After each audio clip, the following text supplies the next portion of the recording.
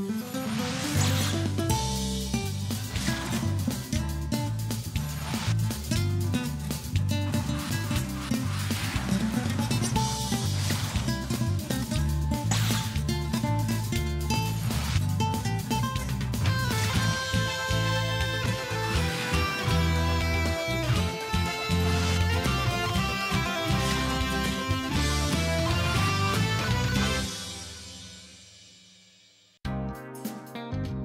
Merhaba.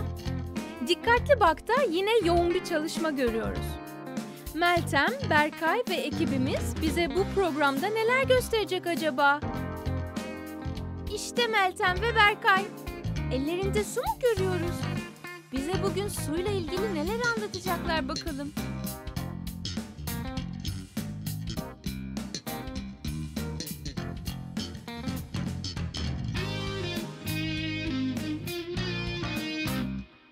Şimdi dikkatli bakalım.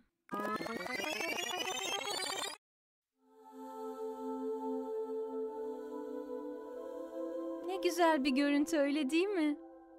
Suyun nasıl döndüğünü görüyor musunuz? Dünyamızın yaklaşık yüzde yetmişini kaplayan su, bilinen tüm canlılar için en önemli yaşam kaynağıdır.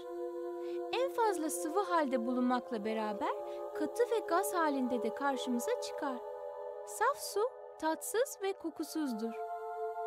Anafor veya girdap, doğada deniz ya da ırmak sularının bir eksen çevresinde dönme hareketine denir.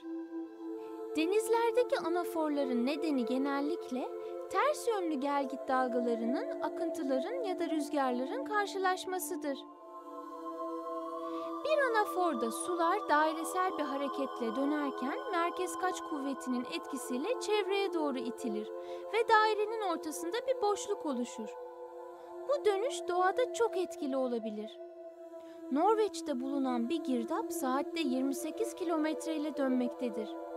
Bu tür büyük girdapların merkezleri cisimleri dibe doğru içine çeker.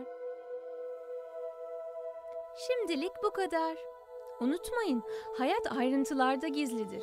Sadece dikkatli bakmak gerekir.